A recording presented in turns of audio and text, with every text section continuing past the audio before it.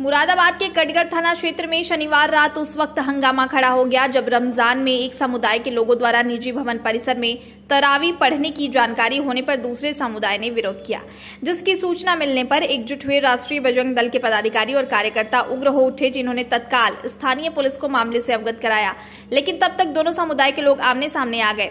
वहीं मौके पर फोर्स के साथ पहुँचे पुलिस अधिकारियों ने दोनों पक्षों को किसी तरह शांत कराया, साथ ही दूसरे पक्ष के लोगों को वहाँ से हटाया। वहीं राष्ट्रीय बजरंग दल के प्रदेश अध्यक्ष रोहन सक्सेना ने शहर में कोई नई परंपरा नहीं पड़ने देने का ऐलान किया है।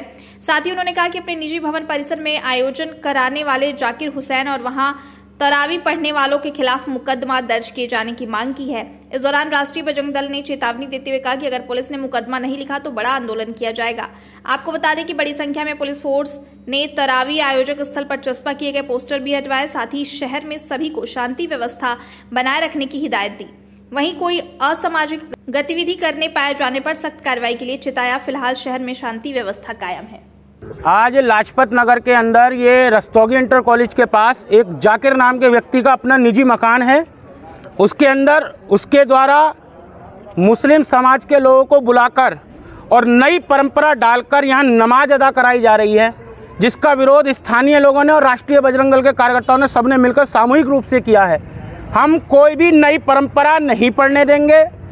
इस शहर के अंदर अशांति फैलाने वालों पर हमने शुरुआत से कही है कि मुकदमा लिखा जाए।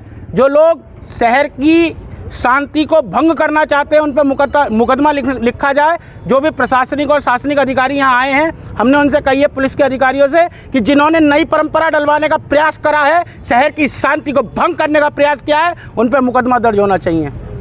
रोहन जी आपको कैसे पता चला? नहीं हमें स्थानीय लोगों से जानकारी लगी उन्होंने फ़ोटो बताए उन्होंने फ़ोटो खींच के भेजे हैं उनके फ़ोटो तक हैं नमाज़ अदा करने के। ये नई परंपरा बिल्कुल नहीं पढ़ने देंगे हम। और लाजपत नगर में नहीं पूरे मुरादाबाद में नहीं पूरे उत्तर प्रदेश में पूरे देश में नई परंपरा नहीं पढ़ने देंगे। स्थानीय पुलिस ने आगे क्या करा? स्थानीय पुलिस ने आके वीडियोग्राफी करी उनसे पूछताछ करी और मुकदमा पाबंद किया जाएगा। हमारी बात हुई है इन पे मुकदमा दर्ज होगा जिन्होंने नई परंपरा पढ़वाई है इन पे मुकदमा दर्ज होगा। हम और अगर नहीं हुआ तो फिर राष्ट्रीय बजरंग दल आंदोलन करेगा।